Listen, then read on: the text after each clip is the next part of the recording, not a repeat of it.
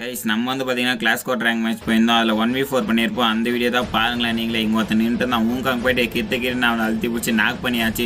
சரி நாக் பண்ணியாச்சுரா மாப்பிள அங்கே எவனா ஓடி வர மாதிரி தெரியுது. நான் அவனும் ஊங்காங்க போட்டு சிறியான அடி மண்டிலே வச்சாச்சு. ஹெல்மெட் எல்லாம் செதறிச்சு.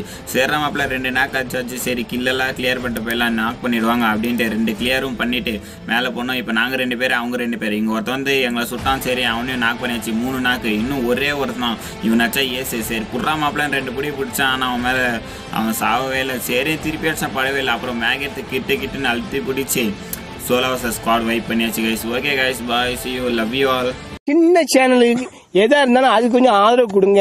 உங்க பொண்ணான கையை கொண்டு அந்த பெல்லில தட்டி